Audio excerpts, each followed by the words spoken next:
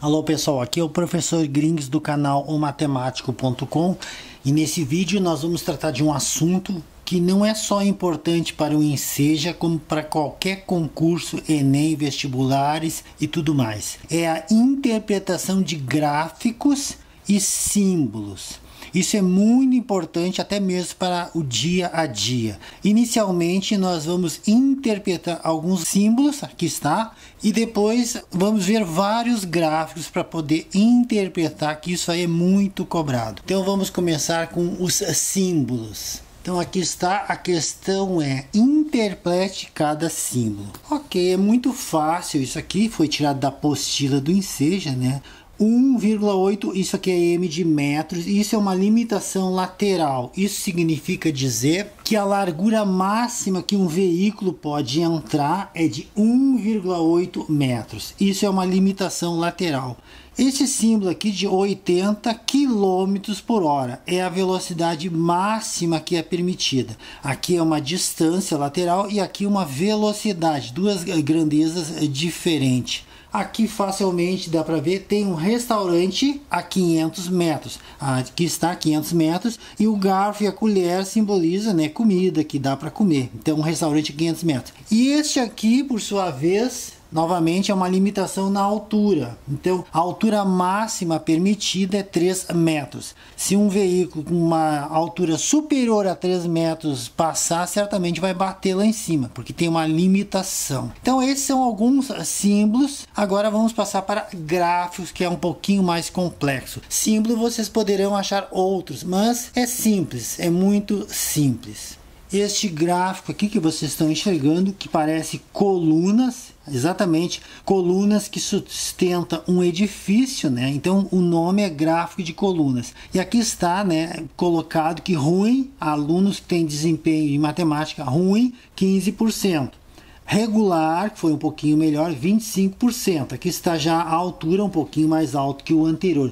Bom, ó, os bons foram 35%, quer dizer, como é 35%, é mais alto que os anteriores, por isso que a gente faz proporcionalmente. E ótimo, os que foram ótimos, 25%, que é a mesma desse aqui que foi regular. Então a altura é a mesma. E aqui geralmente está ilustrado né, a tonalidade de cada um deles. Mas aqui não precisava ter isso aqui uma vez que está aqui embaixo. Se somar 15 mais 25 mais 35 mais 25, terá que dar o 100%, que é o todo, porque isso aqui é em relação a uma porcentagem. Então, somando tudo, teria que dar 100%. Então, esse é o gráfico de colunas. Vamos ver outro gráfico. Aqui temos outro gráfico também, raio-x da Corregedoria da Polícia Civil, de janeiro a novembro de 2001. Então tá, aqui nós temos motivos das demissões tá, de policiais.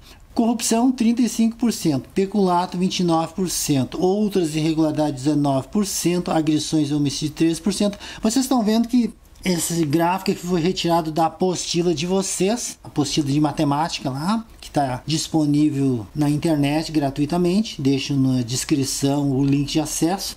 Então aqui estão vendo que 35 é maior que 29, então sempre mantendo a proporção. E é fácil de entender esse gráfico que qualquer um entende. Quer dizer, de 100, 35 corrupção de 100, 29 peculato e assim por diante, vai diminuindo porque porque a percentual está diminuindo, então o tamanho também está diminuindo. É um gráfico muito fácil de interpretar, não há necessidade de muitas explicações. Aqui temos novamente né, número de demitidos. Então, dos demitidos, um gráfico chamado gráfico de linha, porque é uma linha que liga este a este, depois este a este. Em 1996, 75 demitidos. Em 1997, 96 demitidos. E assim por diante. Em 98, 134 demitidos. Aqui em 99, 1999, 31 demitidos. Houve uma quedinha aqui bem de leve, porque aqui ia subindo, subindo, aqui caiu um pouquinho. Já aqui em 99 para 2000, 189 demitidos, deu uma subida e aqui novamente uma quedinha, né? 189 para 172, deu uma quedinha, decresceu.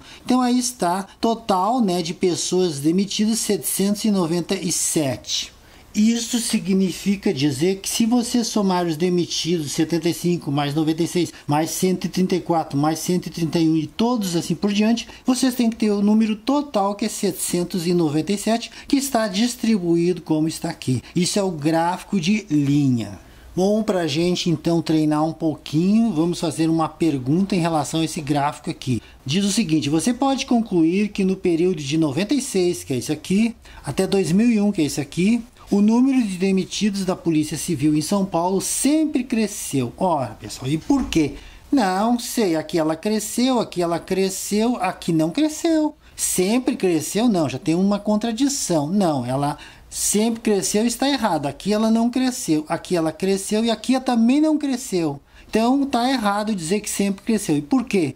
Porque em 98 até 99 ela decresceu e em 2000 e 2001 também decresceu. Então não dá para dizer que ela sempre cresceu. Essa é a interpretação então do gráfico de linha. Bom, a próxima questão que nós temos que resolver diz o seguinte: na primeira metade desse período de 96 a 98, foram demitidos aproximadamente 50% dos policiais demitidos no período todo. Então, de 96 a 98 foi demitido praticamente 50% do período todo do que foi demitido, ou seja, a metade. Você considera essa afirmação verdadeira e justifique sua resposta. Para fazer essa questão, nós temos que então fazer o cálculo. Lembrando que 797 é o nosso 100%. Então, demitidos daqui até aqui, tem que ter a metade disso aqui. Vamos então somar isto mais isso mais isso, porque aqui ó, 96, 97 e aqui 98, até aqui ó. Então é aqui, aqui e aqui. Tem que somar esses três valores, né? Porque está aqui, bem em cima das datas especificadas. Já coloquei aqui então um em cima do outro, lembrando que é unidade em cima de unidade, dezena em cima de dezena e centena em cima de centena. Como só o primeiro que tem centena, fica só o primeiro. 6 mais 4 é 10, mais 5 dá 15. E aí vai um lá para cima. Soma de números decimais, deixo no link de acesso, né, para vocês verem o vídeo onde eu ensino a fazer isso. 9 mais 3, 12, 13 mais 7, 20 sobe 2 lá para cima e 2 mais 1, 3. Bom, 305. Agora nós temos que saber se isso aí é realmente a metade do que eu tenho aqui. Eu vou fazer uma regrinha de 3, que é meu método preferido, 100%, para saber se isso aqui é 50%. 100% é o total, que é 797. Ok. 50% será que é 300 e 5. Então agora eu vou ver se isso aqui se transforma em 50% como está dizendo no exercício. 797 vezes x cruzado, né? 797, sempre é cruzado assim, regra de vezes x, igual a 100 vezes 305. Passa o 797 para o outro lado dividindo, pega-se uma calculadora e faz a divisão, mas eu tenho vídeos onde eu ensino a fazer divisão de números decimais.